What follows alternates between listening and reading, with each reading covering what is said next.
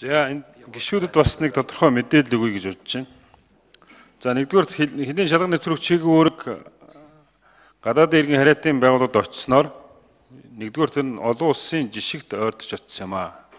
Хоёрдугаарт нь Монгол улсад зочилж байгаа гадаадын жуулчид иргэд урд нь бол цэргийн дүрм тутастай хүн хил дээр одоо паспортын шалгахад цэргийн хунт тусад очиж байгаа гэдэг сэтгэл төрдөг байсан бол одоо ардчилсан энгийн тайван усад очиж байна гэдэг тийм одоо ихтгэл үнэлттэй болсон юм. За 3 дугаарт нь бол мэдээлэл маш их сайжирсан. 1990 оноос хойш нийтдээ Монгол улсын төр 100000 гадаадын иргэнийг албадан гаргасан юм. Тэрний 6000-ийн 3 жилийн дотор буюу өнгөрсөн хугацаанд одоо энэ хэн шалгалтын үйл ажиллагаа сайжирсан энэ хугацаанд гаргасан юм л да. Тэгээ нэмдэрч гишүүнийг сайд байж байгаа үед бол тэр гадаад иргэдэд албадаг гарах ажиллагаа бүр байхгүй болчтой юм байл. Тэгээд ер нь бол ийм учраас одоо энэ мэдээлэл сайжирсан. Өөрөөр хэлбэл 1 сарын 1-нд оржсон жан гэдэг хүн 2 2 сарын 1-нд гарахгүй бол тэрний хойноос нь хүмүүс нь хөөгөөд явдаг хариуцлага тооцдог ийм л одоо мэдээллийн систем сайжирсны үр дүнд энэ одоо амжилт гарсан. Өөрөөр хэлбэл монголчууд Монгол эх орондоо тайван амьдрах ёстой гэдэг тэр үндсэн одоо зүйл дээр бид нар очиж чадсан гэдгийг энд хэлхийг хүсэж байна. За өнөөдөр гişүүд нэг ойлголт өгье. Өнөөдөр яг тэр хилийн шалган нэвтрүүлж чиг үүрэг яаж явж байгаа гэдгийг тайлбарлаад өгье л да. Өөрөөр хэлбэл нийтдээ 400 гаруй албан хаагч тэр хилийн шалган нэвтрүүлж чиг үүргийн дагуу одоо хилийн зэрэгс хариатын байгууллагууд ирсэн. Тэр хүмүүс яг тэр хил хил дээр хийж хилийн байгууллагууд байж байхдаа хийдэг ажлаа яг өнөөдөр хийж байгаа. Өөр юм нэмэгдээгүй. Харин сайжирсан нөгөө нэг хариатын байгууллагад очсон учраас гадаадын иргэдийн паспортыг таних, визийн одоо төрөл зүйлийг илүү одоо мэдээллийн сургалтын сайн хийсэн учраас тэд нар илүү сайжирсан. Бусдаар бол яг хил дээр хийжсэн тэр бүх ажлаад өнөөдөр хийж байгаа. Хариатын байгууллаганд ажиллажсэн тэр мэрэгжлүүд нь яг л тэр ажлыг хийж байгаа.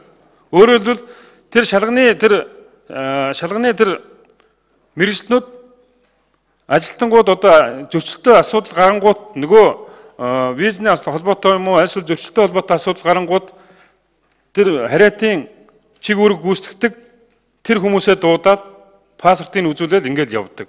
Өнөөдөр яг энэ процесс яг ингээд явж байгаа байхгүй. Хил дээр очиж одоо хил хамгаалах байгууллагад очиход яг ингэрэл явна. Хоёр байгууллагын амбиц яваад байна. Ялангуяа хилийн зэргийнх нь итгэхийг дийлээд байна.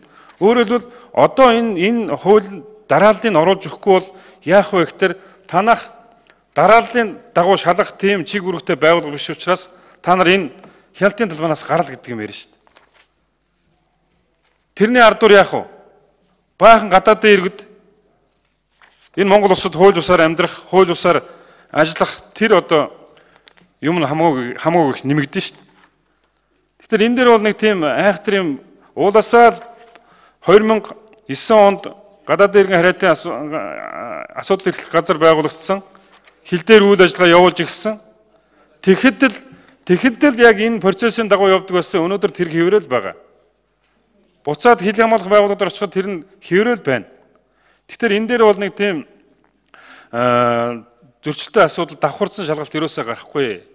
Хил хамгаалах байгууллагууд шалган нэвтрүүлэх үүрэг очихдоор хилийн шалган нэвтрүүлэхийн тэр офицерууд зөрчилтэй тэр гадаадын иргэнийг тэр гадаадын хариатын байгууллагад хүлээлгэж өгөөл тэрэг асуудлаа шийдээд аль эсвэл визийн визний асуудалтай бол визийн шийдвүлээд явах ийм л зүйл шүү дээ.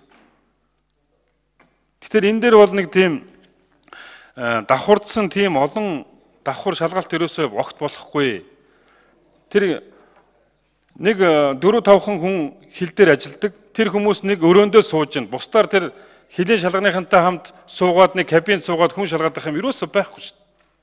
Хүмүүсийг ингэж бас тодорхой хэмжээгээр энэ хилийнхэн ялангуяа тэр энэ гişүүдийн тархийг бити угаагаад байгаа гэдэг хэлээ.